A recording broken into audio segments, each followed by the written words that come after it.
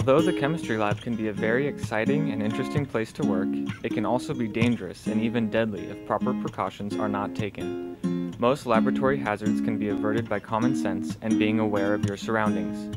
Always pay attention to what you are doing and be conscientious of your peers. Since your eyes are such a valuable and vulnerable part of your body, protecting them is very important, especially while working in conditions and with chemicals that could cause permanent damage. All students must wear approved eye protection in the laboratory. Your instructor will let you know whether or not your safety gear is suitable for class. Safety goggles that fit to form a seal around your eyes give excellent protection. Acid or base splatters can come from any angle at any time. You may not be performing an experiment, but your neighbors may be. Eyeglasses do not provide protection, so wear adequate protection over them. If you wear contact lenses, make this apparent to others around you by the use of a small piece of red tape on the side of your goggles. Do not wear goggles on top of your head or around your neck because this gives you no protection for your eyes at all. You may find safety glasses unattractive and uncomfortable, but consider the alternative, a life without the use of your eyes. Your skin may get damaged in a chemical accident, but your eyes will be saved by your eye protection.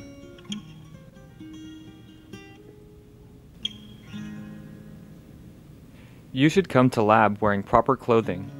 You must wear a lab coat that covers your knees, long pants, not shorts, and closed-toed shoes.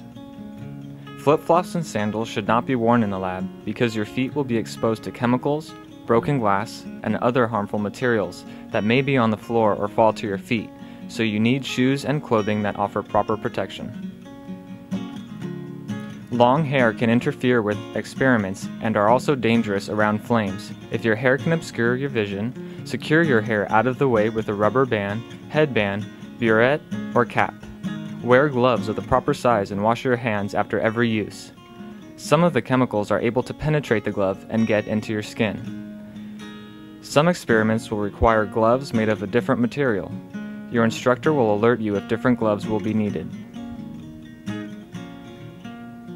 Do not wear your gloves or lab coat outside of the lab, even to the restroom.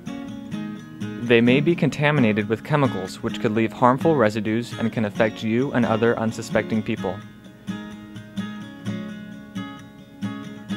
Even if you do not work with chemicals that day, you should always wash your hands before you leave the lab. Residue from past experiments may be present on countertops, stools, glassware, and other surfaces, so do not assume anything is clean. You may not be able to tell if something is clean or not just by looking at it. Be sure to clean up all spills immediately and inform your instructor or lab tech. If you have an acid spill, use sodium bicarbonate or baking soda to neutralize it. Wipe all surfaces down thoroughly before leaving your work area.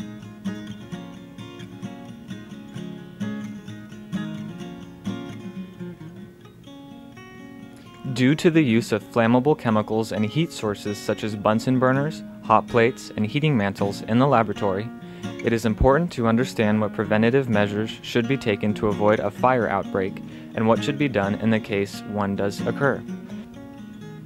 In order to avoid injury from laboratory fires, always wear snug-fitting clothing and lab coats when working in the lab.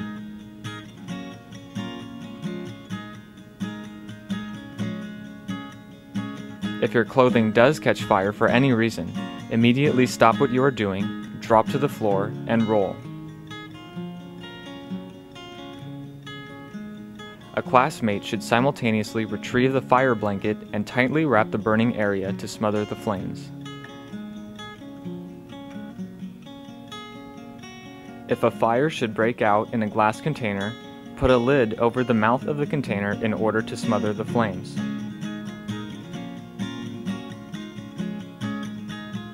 If a fire breaks out in the laboratory and it is safe to do so, retrieve the fire extinguisher from its location in the front of the lab. Remove the pin and slowly depress the handle while aiming at the base of a fire.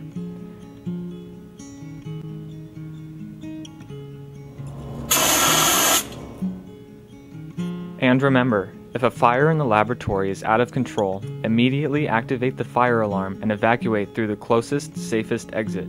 If any fire breaks out during the lab, make sure your instructor is notified immediately. Hood